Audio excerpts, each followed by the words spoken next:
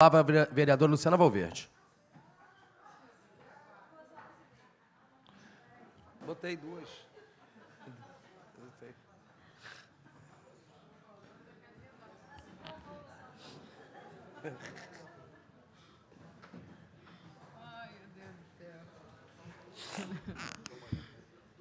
Boa tarde, gente. Boa tarde, plenário, novamente. É, eu vou trazer alguns pontos que eu vivenciei aí esse, essa semana, que eu acho de suma importância, até mesmo para o governo tomar conhecimento. Na sexta-feira, é, por volta de nove e meia da manhã, eu fui chamada num grupo de zap por uma família pedindo socorro, porque tinha um corpo de um ente querido no HGJ três dias. Foram três dias a família tentando liberar o corpo para poder fazer, para velar, né, toda aquela tristeza do, da perda do ente querido, aí o sofrimento da liberação do corpo. Então, eu estive no HGJ, não tive o prazer ainda de conhecer o Faria, porque no momento ele nem me atendeu, ele não me recebeu, só falou comigo por telefone. Né, e a gente conseguiu fazer a liberação do corpo naquele dia. E a família não pôde nem velar porque o HGJ não tem geladeira, então o corpo ficou exposto, né, fazendo contaminação em todo o hospital. A família teve que enterrar de caixão fechado. Então, perdeu a, não teve a oportunidade de fazer a última homenagem, prestar a última homenagem ao seu ente querido. Então, aqui eu fico meu apelo aqui ao meu prefeito, que, que ele interceda lá no HGJ, que a gente tente melhorar a estrutura. A Jane ontem conversou sobre isso, né, Jane? Comigo, eu expus para ela até essa situação. Eu sei que ela vai subir com, com um pedido com relação a isso, e, e eu te agradeço muito, porque eu sei que muitas famílias vão ser beneficiadas e vão começar a ter é, um pouco mais de respeito, que isso eu acho que é muita falta de respeito. Tá? Eu vou pedir também, é, eu vou agradecer ao Gustavo e ao Felipe, da Saúde, porque eles têm nos atendido e nos atendido muito. Né, quando a gente vê num ato de, de, a família num ato de desespero. Mas eu vou fazer uma cobrança também. Né? A gente tem nossos agentes de saúde, não digo que são todos, né, mas eu tenho recebido muitas reclamações que os agentes não têm feito o trabalho de dentro do bairro.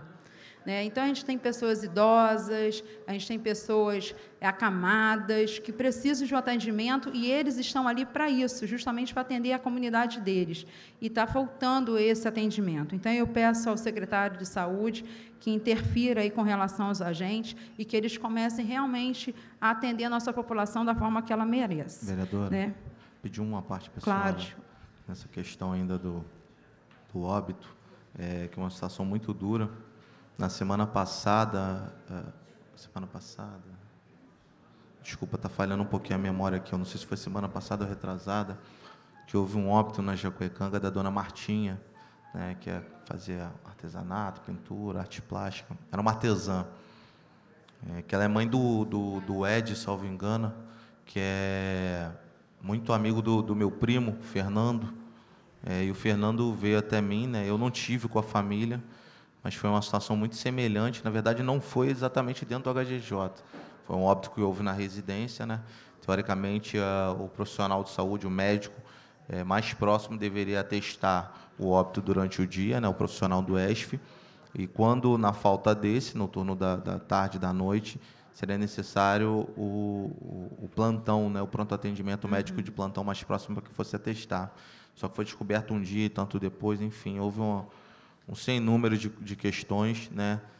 Todo mundo que eu conheço tá, ficou mobilizado para tentar ajudar, e isso é muito triste, né? Como a gente fala a questão do emprego, que as pessoas precisam trabalhar, um direito né, constitucional do, do, do, do nosso cidadão, também é um direito constitucional à dignidade da pessoa humana. Isso, apesar da, da não, de não estar mais em vida, aquele ser humano, ainda existe a dignidade do cadáver dele e também a dignidade para a família, né, a dignidade do nome.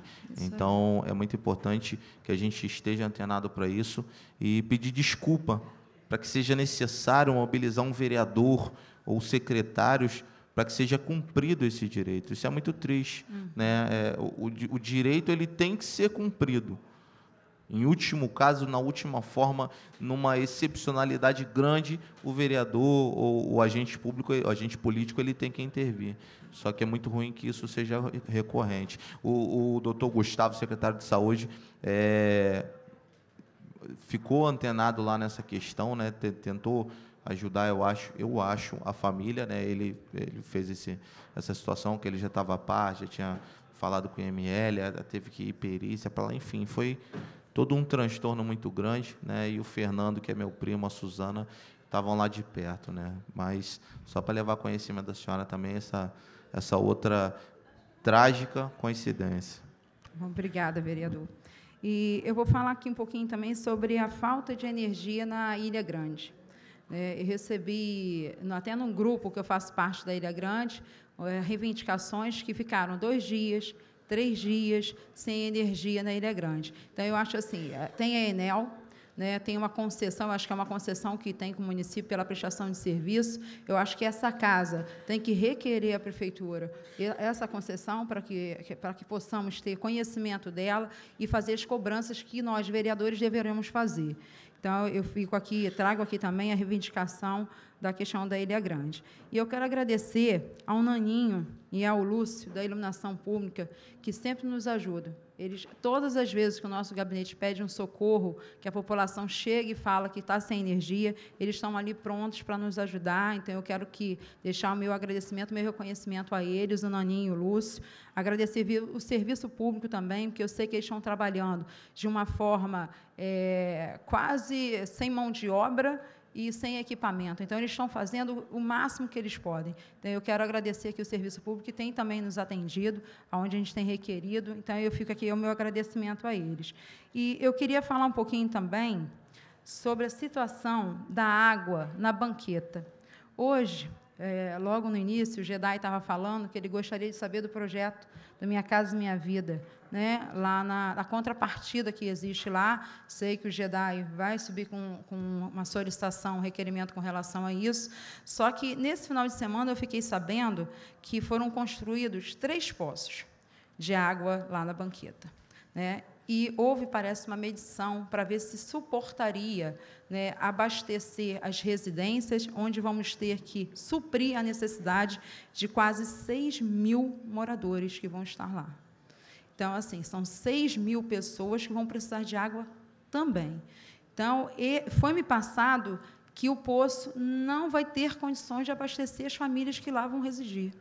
A gente já tem uma falta de água é, no município quase o ano todo. Quantas e quantas vezes eu vejo as pessoas falarem que na sua residência não tem água, que no seu bairro tem quatro dias sem água. Então, assim, eu, eu peço que o SAI né, intervenha lá, que o SAI tente ver realmente se esse posto vai dar, dar, dar conta, né, vai, dar, vai ter a capacidade ideal para suprir as 6 mil pessoas que vão residir naquele local, porque o que a gente não pode é colocar 6 mil famílias lá, 6 mil pessoas lá, e não dar a condição mínima de sobrevivência para eles lá. Então, eu acho que assim, eu acho que isso é um desrespeito. Eu acho que tem que ter assim, o cuidado, o carinho de quando se fala da pessoa, de tratar o ser humano.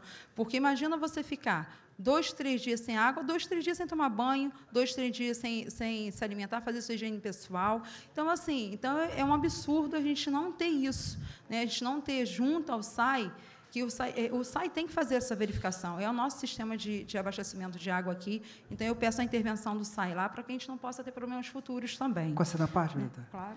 Na verdade, a minha dúvida também, essa contrapartida, porque, como você falou, são 6 mil cidadãos, 5 mil cidadãos, né? É quase 6. Quase 6. Quase 6. E vão sobrecarregar o HGJ, vão sobrecarregar o pós-saúde, vão sobrecarregar creche. toda creche.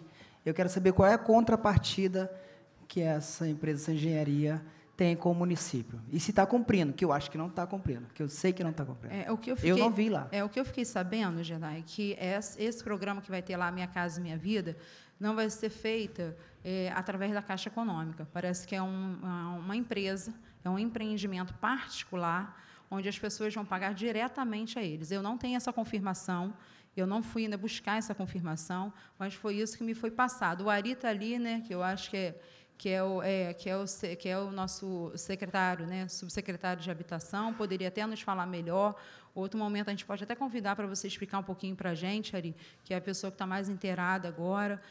Isso foi o que me foi passado e eu fiquei um pouco é, com receio do que a gente pode acontecer, porque a falta d'água hoje no nosso município é total. E eu lembro, quando estava na Procuradoria, das contrapartidas, sim, que a empresa deveria é, realizar, e eu não sei se vão ser realizadas, como vai ser realizada, qual é o prazo para a realização delas. Então, eu acho que é interessante, já você solicitar realmente.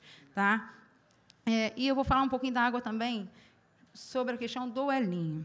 É, outra coisa que me foi passada, que além da isenção fiscal, né, que existe o Brasfels, e a contrapartida que não está tendo retorno ao nosso município, já que a gente tem vários trabalhadores aí desempregados e outros na beira de ficar, né, porque a Brasfel está fechando, está encurtando, e quando abre vaga, eles trazem gente de fora, não dão a prioridade para o morador da nossa cidade, até porque, se eles estão aqui, a economia tem que ser gerada aqui também, o emprego tem que ser gerado aqui também. E me foi passado também que eles não pagam a contribuição da taxa de água. Então, eu vou fazer na próxima sessão, para a próxima sessão, uma solicitação, um requerimento, para que eu, eu vou perguntar ao SAI quanto é recolhido da Brasfels, quanto eles pagam de água, porque algum retorno para o município a gente tem que ter. A gente não pode ficar com a Brasfels com isenção tributária e isenção também da taxa de recolhimento de água e e toda a nossa população desempregada, todos os nossos metalúrgicos desempregados, e ponto a ficar mais desempregados. São pais de família, precisam sustentar suas casas. Né? Então, eu acho que tem que ter, o retorno, e esse retorno tem que ser cobrado agora. É agora que tem que ser cobrado. Até porque parece que veio, o Canidé informou que veio uma nova empresa agora para cá e que está trazendo todo mundo de fora. A gente, tem, a gente tem mão de obra aqui, gente. A gente tem que ser prioridade dentro do nosso município. Parar de ser prioridade aquele que vem aqui, às vezes, pega, trabalha, fica aqui cinco dias, pega o ônibus, vai embora, vai gastar o dinheiro dele na, na cidade dele. Isso não existe. A gente tem que ter.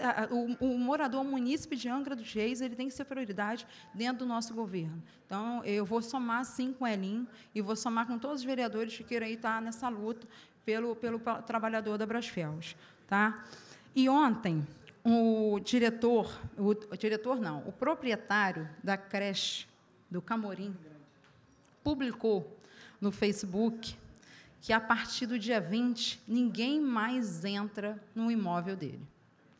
Tem um contrato a vencer que vai, vai ser, né, tá, vai se findar no dia 20 e a partir do dia 20 ninguém mais entra na escola. Foi essa a informação. Ele pediu desculpa à população do Camorim, pediu desculpa aos alunos que não têm nada a ver com esse problema, né? Porque a gente não está conseguindo um acordo com relação ao valor do imóvel. Né? O governo entende que seja um valor alto, acho até que seja realmente um valor alto, mas a gente tem que verificar o que a gente vai fazer com essas crianças. Porque antes a creche atendia, eu acho que eram 100 crianças, hoje eu acho que estamos com 400 crianças. Então, não é uma casa que vai suportar 400 crianças.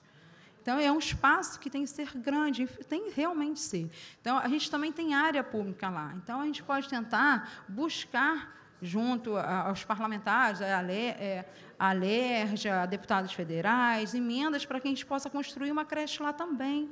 Né? Esse é o nosso papel aqui. É isso que a gente tem que fazer, a gente tem que lutar por isso. Né? Então, eu tenho recebido várias, várias, várias questões sobre a saúde.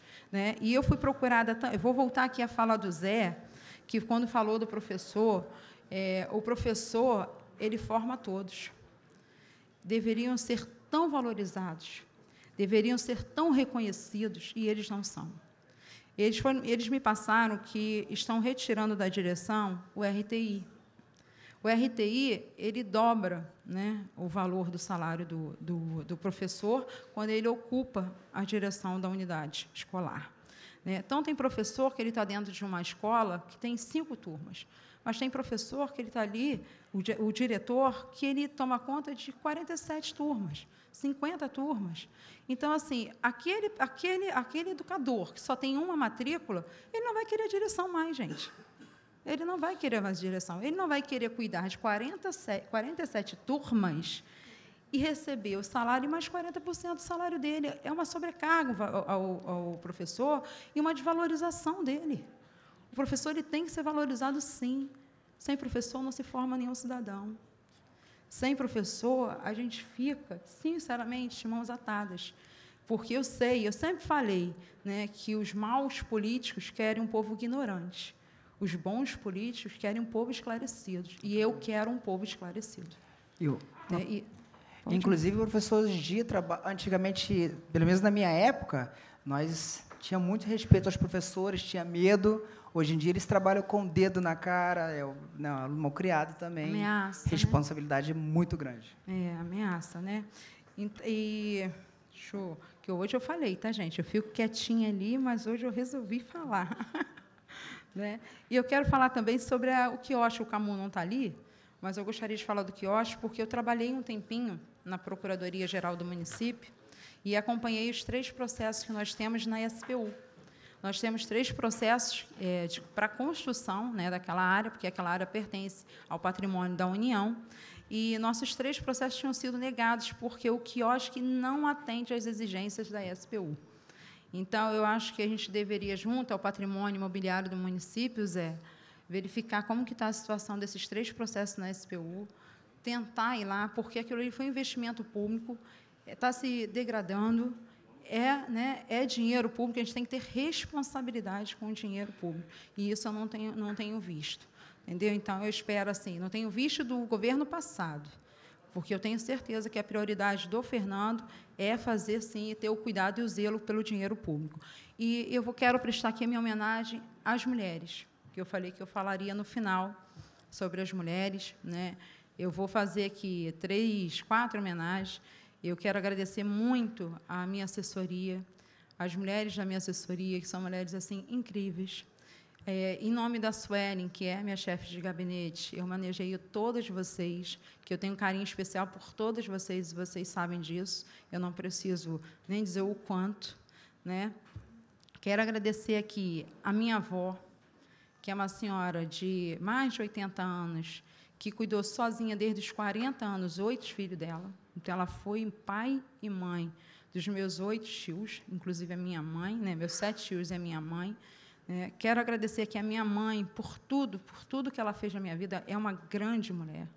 Falo que a minha mãe é meu espelho. Né? Eu não gosto de falar muito da minha mãe, que a voz já já dá uma trepidação, então é melhor não falar sobre a mãe. Mas minha mãe tem todo o meu carinho, tem todo o meu amor, é o meu alicerce, junto com meu pai, é o meu alicerce e junto com a minha irmã.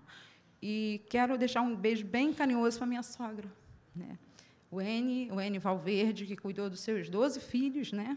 Que a gente sabe que é uma família grande, a família Valverde, e dizer que a mulher ela tem uma importância na sociedade que, se ela se der conta de como é importante, é, talvez a gente mude um pouquinho, Marquinhos, essa visão assim. É, Existem leis que não são cumpridas, não são cobradas, muitas vezes porque as mulheres elas se omitem também, por medo, né, por não saber a importância dela.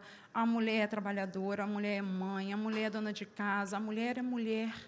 Né? Então, assim, a importância da mulher. Então, não é só o mês de maio, março, que é o mês da mulher. Eu acho que a mulher são todos os dias. Né? Então, eu quero agradecer aos meus amigos vereadores, ao meu presidente Zé Augusto, pela linda homenagem que nos foi feita, né, a Jane, a Tite, pela parceria que a gente tem desenvolvido aí, a todas as servidoras dessa Casa Legislativa. Vou falar aqui da Suleima, que está aqui presente, eu falo de todas as servidoras dessa casa, sabe que eu tenho um carinho, foram, eu trabalho com ela já vai, tem quatro anos e um pouquinho, então eu conheço cada uma delas, então eu presto minha homenagem, minha sincera homenagem a elas, tá? São essas minhas palavras. Bom dia. Obrigado, vereadora. Com a palavra, vereador Marcos Santo Antônio. É, cinco minutos para Vossa Excelência. Porque o senhor falou cinco na da Luciana, cinco.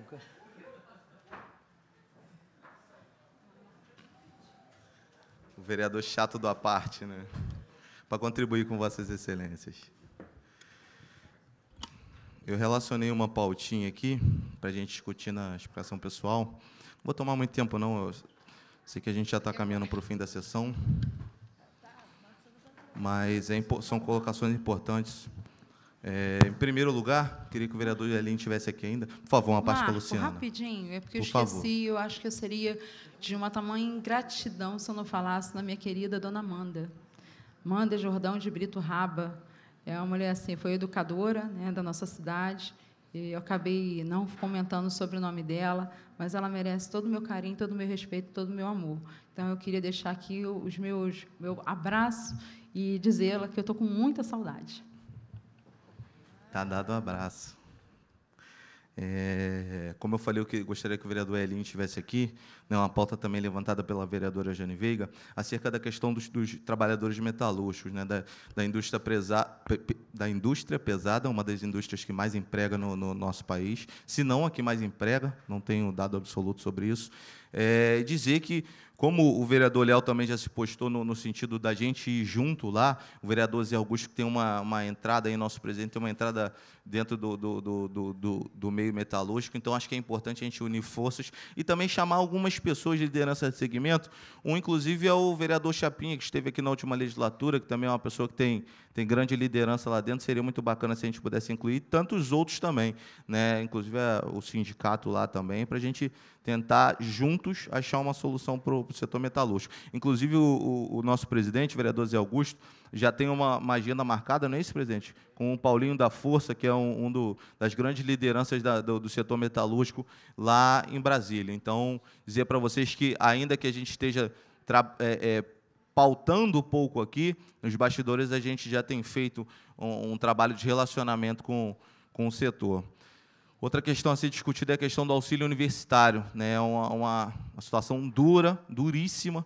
Né? O senhor falou sobre, desde o ano passado, precisamente o último, último, último pagamento do auxílio foi em maio do ano passado. Então, assim, aqueles estudantes que, que pegaram de maio a, a julho, né, o fim dando esse período, iniciando em agosto até o final, também não tiveram ajuda do auxílio. Então, é, parte disso já está empenhado lá, apenas esse ano, como foi suspenso, essas pessoas não receberão né, pelo período de seis meses. Né? Está sendo feito estudo, né? inclusive a Estela tem sempre recebido a gente para pautar sobre isso. Inclusive, agora eu tenho uma reunião com ela duas horas né, e vou, vou mais uma vez pedi-la né, para que possamos estabelecer a comissão mista né, com vereadores desta casa, inclusive Convido aí os membros da Comissão de Educação também para que a gente pode, possa compor essa comissão consultiva, né, que tem o objetivo, o propósito de acompanhar os trabalhos e poder dar notícia ao aos grêmios estudantis, aos estudantes, de modo geral, os representantes do setor universitário é, é, intermunicipal, né, que é fora do município de Angra dos Reis, fazem uso desse auxílio.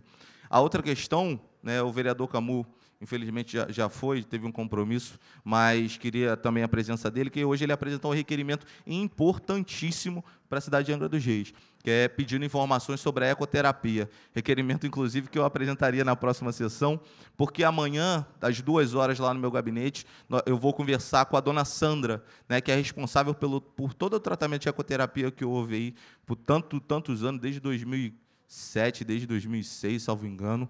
Então já é um, um, um, trabalho que aquelas pessoas fazem, que inclusive começou como um trabalho voluntário. Aquelas pessoas começaram sem receber nada, absolutamente na, na, boa vontade de fazer e ajudar. As pessoas com deficiência auditiva, com deficiência na fala, de locomoção, diversos tipos de tratamento que a, aqueles pacientes é, melhoraram e muito, e muito é, na questão da saúde deles. Né? O, o, a ecoterapia que atendeu acho que de 100 a 200 famílias no último ano, que infelizmente não teve o convênio renovado. Na sexta-feira passada, senhor presidente, eu conversei com o secretário de saúde, o doutor Gustavo, né, e levei um pedido a ele em mãos, né, escrito, para que a gente pudesse retomar o trabalho da ecoterapia, que é um trabalho muito importante. Um trabalho que foi levantado pelo nosso gabinete através da minha professora, né, que eu gosto de, de sempre tratar ela com muito carinho, que é minha tia, tia Salete, né, que é a filha dela, Alice, é deficiente visual e sempre, é, desde o início da ecoterapia, ela faz terapia lá. Então, é muito importante para que a gente possa levantar essa pauta que não só a minha tia Salete, quanto tantas outras pessoas, inclusive na inauguração da PAI esse final de semana, no sábado, que Cabe dizer que foi sensacional, uma experiência indescritível é, ver o trabalho que aquelas pessoas fazem, né, um trabalho voluntário, uma associação de pais e amigos. Isso, Dona Iriana me fez um convite que, que vou agradecer ela o resto da vida, né, que foi a gente poder ver de perto um pouquinho do trabalho, um pouquinho daqueles anjos né, especiais. E lá também te, houve uma, uma senhora até peço desculpas que é, não me recordo especificamente o nome dela, que foi lá do Frade, uma amiga minha, né? Que veio me, me, pedir essa questão da ecoterapia. Então, dizer que, através do requerimento do vereador Camu, a gente vai entrar nesse circuito aí. Já estamos trabalhando internamente é, e aproveitar o ensejo do vereador Camu para é, é, reforçar esse pedido, fazer coro. Né? Vou chamar também o, o, presidente da Comissão de Saúde, o Canider, né? o Camu, que também é membro, para a gente tentar encampar isso. E quem quiser, dos, dos meus nossos pares aí, quem quiser encampar essa luta, para vir junto com a gente, que se Deus quiser, a gente vai retomar isso. O doutor Gustavo, secretário de Saúde, já se pronunciou no sentido de restabelecer esse convênio. Já falei com, com o prefeito Fernando Jordão, ele falou para eu, ele falou, Marquinhos, toca isso junto com o secretário de saúde. Eu falei, então tudo bem, o senhor me delegou essa função, eu vou trabalhar, não sou executivo, sou legislativo, mas eu acho que faz parte da gente também somar forças com como, com quem e como pudermos para a melhoria da nossa cidade. É, sobre a questão da merenda escolar, né, que muito foi tocado. Ontem é, eu fui convocado e até é, peço desculpas na reunião lá que tive uma distensão aqui no, na, na, coluna e saí de lá meio, meio tartaruga ninja, meio torto lá. É, mas a gente foi falar sobre a questão da, da agricultura de Angra dos Reis, dos produtores rurais de Angra dos Reis, que é das maiores do, do, do, do, Brasil, inclusive. Né, a produção de palmito, se eu não me engano, é a maior do Brasil. Então, isso é, são dados gritantes que a gente precisa usar, inclusive, como Vossa Excelência falou, senhor presidente, é, conquistar verbas federais, conquistar verbas eh, estaduais, porque com certeza existem muitos programas de, de, de incentivo à agricultura, né, eu não sei especificamente agricultura familiar, agricultura doméstica, eu não sei dizer, é, das cooperativas, das associações. Então é importante que a gente possa também levantar essa pauta. Hoje também discutirei isso com a, com a com a Estela, que é a secretária de Educação, para que possa renovar o convênio que, que, que fora feito aí no último ano com essa Associação de Produtores Rurais do Parque Mambucaba. Agora eu vou falar sobre um tema que foi muito discutido na última sessão e que, inclusive, a vereadora Luciana Valverde apresentou já, deu entrada hoje o requerimento, né, que eu disse que faria, mas, infelizmente, eu perdi um pouquinho o prazo, o requerimento ficou pronto um pouco depois do prazo de, de, de apresentar o memorando. Infelizmente, eu não consegui. Mas o requerimento está aqui, está pronto, já está no sistema. Dessa vez acertei o memorando, o memorando já foi lá, tá, Luiz? para ele não brigar comigo. E a gente vai subir, infelizmente, peço desculpas, que a gente vai ter que subir ele na sessão da quinta-feira. Eu vou ler um pouquinho do requerimento, a gente vai reler ele na próxima sessão, mas de antemão já estou trazendo um pouquinho aqui para levar aqueles trabalhadores daquela cooperativa que estão tendo seus direitos feridos, levar eles que a gente aqui já está atento a isso. E que a gente está em conversa, inclusive hoje a Jacirlene, que trabalhou né, na cooperativa no último ano e foi demitida por perseguição, cabe dizer, foi demitida por perseguição, porque era uma das poucas pessoas que queria que seus direitos fossem cumpridos, e aí a cooperativa demitiu ela. Então, hoje eu, eu falei com ela sobre a gente reunir algumas lideranças da cooperativa para tratar dessa questão. Então, eu vou ler o requerimento, que ainda sem número, é, requer a mesa diretora desta igreja, Casa Legislativa, após cumpridas as formalidades regimentais, que seja encaminhado ofício ao Executivo Municipal, convocando o gestor da cooperativa que presta serviços de higienização ao Hospital Geral do Japuíba HGJ, que compareça ao plenário desta casa a fim de prestar esclarecimentos acerca dos serviços prestados e, ainda assim, responda às perguntas. Do que se trata o contrato? Este contrato já está valendo? Quais serviços ele abrange? Quais unidades de saúde serão atendidas? Há algum atraso no repasse da prefeitura para a empresa? Se sim, de quanto? Como é feito o controle do pagamento dos direitos trabalhistas dos associados e funcionários? Há valores em aberto? Porque diante disso aqui, de uma positiva disso aqui, não havendo repasse pelo Executivo Municipal, a gente vai ter que ingressar no Tribunal do Trabalho para que a gente possa pleitear o direito desses trabalhadores na Justiça. Porque isso é uma competência né, que é da cooperativa, mas dizer para eles que a Câmara Legislativa de Angra dos Reis está a par, está junto e pronto para ombrear nas lutas que forem necessárias, tanto com a cooperativa em questão, quanto, todas, quanto tantas outras frentes de trabalho. Questão do emprego, eu, eu separei aqui, Tite. Você e a Jane falaram sobre a assinatura, que é difícil. E eu, te, eu ia pedir uma parte, eu falei, estou muito chato, então eu vou guardar no meu tempo para falar.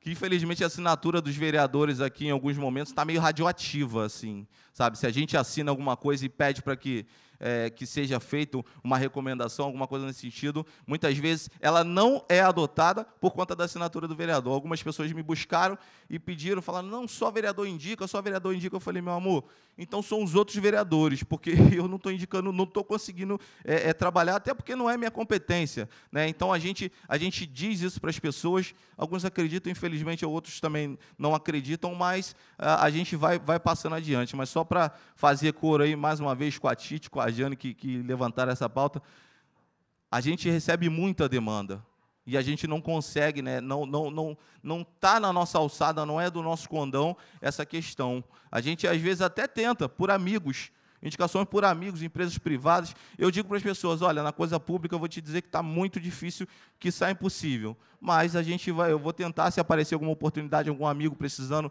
de alguma coisa, eu mando, em caminho. E aí eu tenho feito, mas isso é coisa particular. O Marco Antônio Braga da Silva Pinheiro, que está mandando para os amigos conhecidos, é, infelizmente a gente não tem conseguido muito porque contratar nesse momento de crise econômica, crise econômica inclusive que hoje nos jornais a gente está vendo a retração do PIB, do produto interno bruto do nosso país em 3,6%, que é um dado que reflete a maior crise financeira, a maior crise econômica desde 1930, da queda da bolsa de Nova York, que foi uma, uma sem precedentes. Então, a gente tem vivido uma situação muito difícil e peço desculpas por não conseguir atender nesse ponto eh, as pessoas que buscam a gente.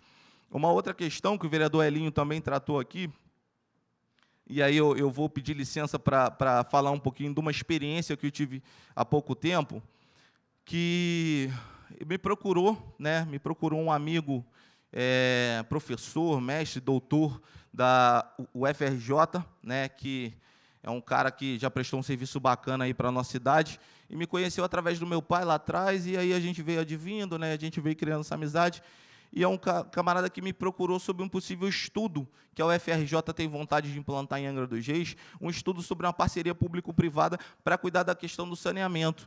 O saneamento ele é caríssimo, ele não é barato. Né? E, e sempre ouvi a vida inteira, é, não sei se, se foi por isso ou se é por isso, mas que saneamento não dava voto e que por isso as pessoas não trabalhavam no saneamento. Saneamento pode até não dar voto, mas dá saúde né, ajuda aquelas pessoas que precisam. Né? Se você for, como o presidente há pouco tempo foi, como o Jedi, que é morador, o Jean, que também é morador de uma área carentíssima, que é o Campo Belo da Japuíba, como tantas outras que a gente tem em Angra dos Reis, mas se você for nessas áreas, você vai ver diversas crianças com doenças é, é, é, provenientes da falta de saneamento. Então, existe uma matemática muito, muito antiga aí da administração pública, da coisa pública, que diz que cada um real que você investe em saneamento básico são quatro reais que você economiza na saúde se o momento não é contenção de despesa, se o momento não é que a gente procure fazer um trabalho preventivo da saúde, que para mim a única coisa que funciona na saúde é o trabalho preventivo. Porque depois que você está com a doença, depois que você desenvolveu ou contraiu uma doença, é muito mais difícil, muito mais dispendioso e muito mais custoso que você trate essa doença. Então é muito importante para que possamos fazer uma saúde preventiva. Isso foi uma coisa que eu briguei muito na campanha e é uma coisa que eu tenho tentado travar aqui através do nosso gabinete, o gabinete 01, que seja a questão da, da, da saúde preventiva. E o saneamento é saúde preventiva. O saneamento é verba que vai ser usada em obra, que vai impactar diretamente na saúde. E dizer também sobre essa questão do, do saneamento, que há pouco tempo eu fui a Poços de Caldas, senhor presidente, o, o, a convite de um vereador, um vereador jovem como eu, um vereador de, de 28 anos, idade do Jedi, né?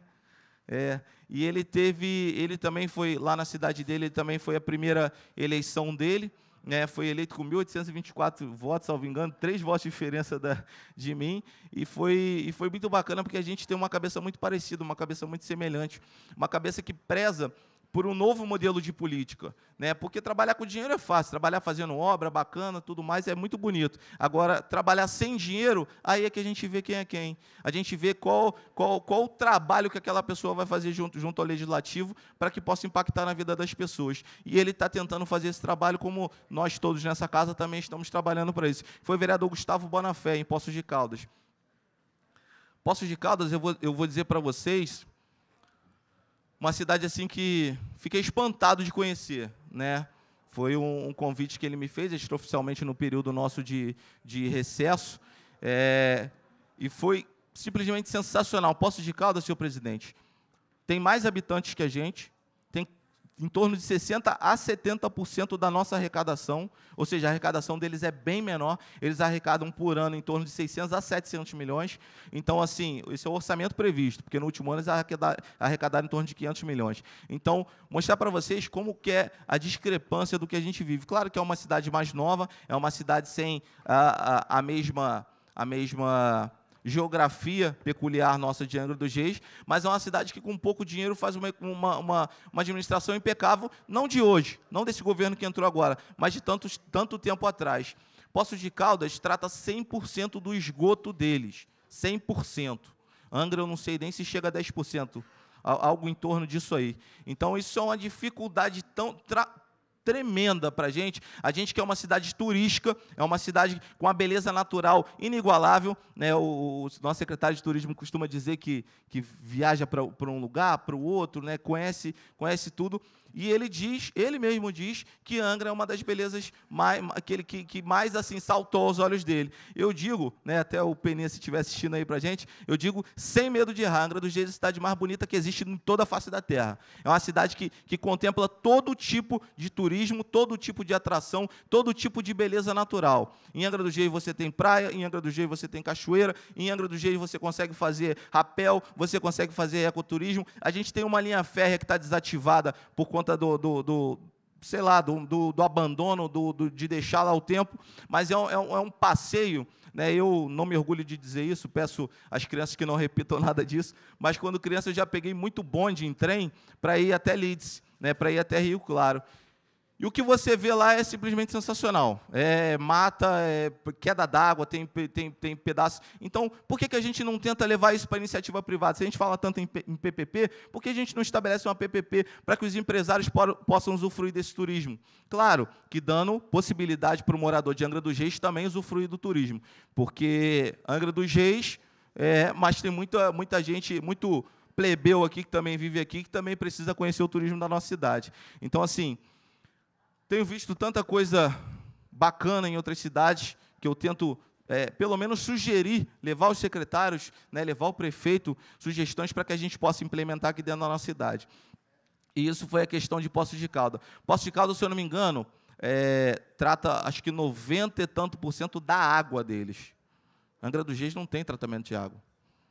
A gente despeja todo o nosso esgoto na Praia do Anil, na Praia do Frade, que inclusive é, é, é, é o meu lar. E a gente vê o potencial que aquilo tem. Já pensou a Praia do Anil limpa para banho, Jedi?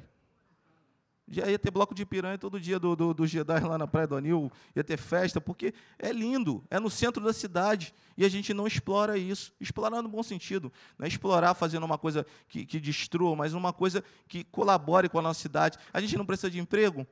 Turismo é um excelente empregador, uma das fontes de, de, de, de emprego também das maiores aí do, do, mundo. Então, e é aplicável em qualquer modelo. Qualquer cidade pode fazer turismo. Né, eu fui para Poços de Caldas, eu fui para conhecer a cidade. É, eu conheci o trabalho do, da, da Câmara, o trabalho do Executivo. Eu cheguei lá, tinha uma banheira de turismo, banheira de... Como é que é o nome daquilo? Ah, um, um ofurô, alguma coisa... Do, não, hidromassagem não. É o furor que chama mesmo? Eu não, não entendo esse negócio, não. Chegou lá, o negócio é simplesmente uma água lá que, de uma mina, né, que é água termal, água com gases, fede o negócio. O negócio tem um cheiro de enxofre fortíssimo. E as pessoas pagam 100 reais para tomar banho naquilo, uma hora. Caramba, eu faço um furor lá em casa, amigo. Se for para empregar as pessoas, a gente tem que trabalhar, a gente tem que ter criatividade. Você vai para tanta cidade aí, e eu acho que algumas pessoas até não sabem disso. Você vai para algumas cidades aí de, turísticas, meu amigo, o que eles contam de mentira para você da cidade deles, contam histórias, inventam histórias, mas que fomenta o turismo lá.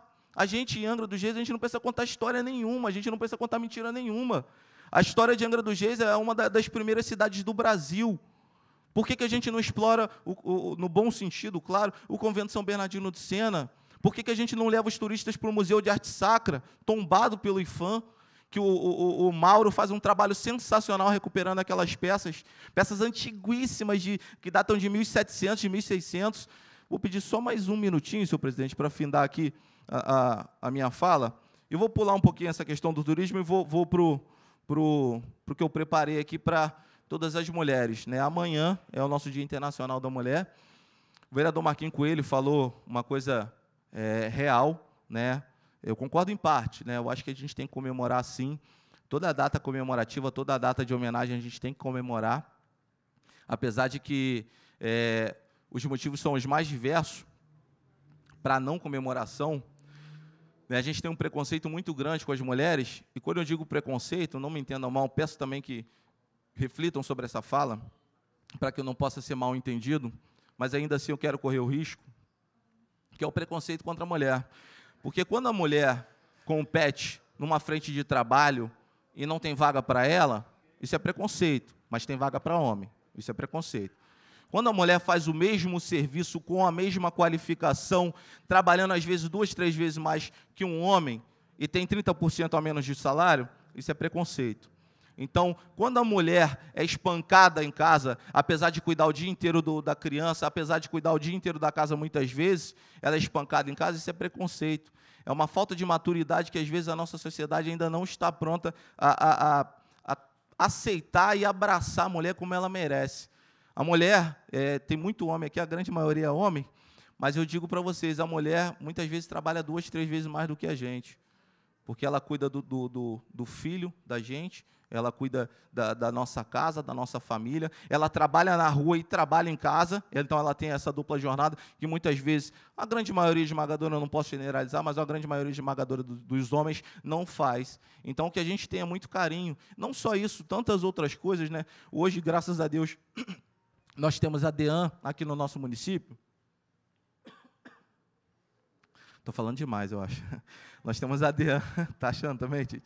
Nós temos a DEAN no nosso município, que foi uma luta grandíssima de muitas pessoas, e uma delas, inclusive, foi a minha prima, Suzana Leone, que trabalhou muito, foi a Brasília, foi diversas vezes ao Rio de Janeiro, como tantas outras mulheres também que lutaram por isso, e graças a Deus hoje a gente tem uma DEAN. Está em greve a Polícia Civil, está fazendo apenas os registros em flagrante, né, não está fazendo é, assimilando todas as ocorrências, mas que ainda assim é uma, é uma grande vitória que a gente tem. Parabenizar também a minha prima, Suzana Leone, que, né, que por muito foi conselheira tutelar, é, é uma pessoa que luta muito na, nos direitos da mulher e, e da, da, do, da criança e do adolescente, então, parabenizar ela também. A minha, minha namorada, minha companheira de lutas, a Gabriele, a minha mãe, minha mãezinha, a Nazaré, que a gente chama ela carinhosamente de Nazinha, parabenizar ela também. Né? Vou parabenizar amanhã, mas quero deixar de público aqui.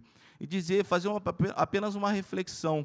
Né? Como o Marquinho Coelho, aqui, meu colega de bancada, também recitou um pouquinho de, de, de poesia. Eu não vou recitar poesia, não, apesar de achar que é uma poesia.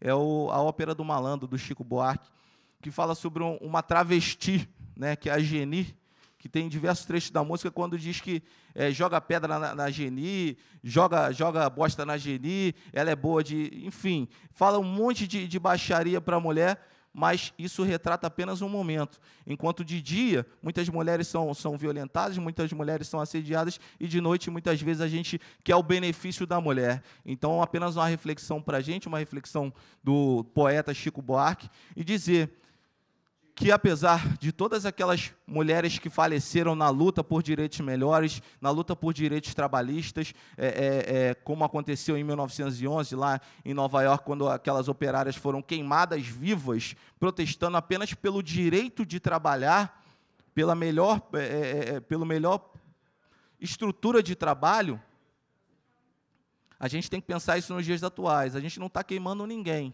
mas muitas vezes a gente está deixando mulheres trabalhadoras, lutadoras, à míngua, sem é, a devida oportunidade, sem a devida equidade. Senhor presidente, essas são minhas palavras. Fiquem com Deus. Obrigado, vereador.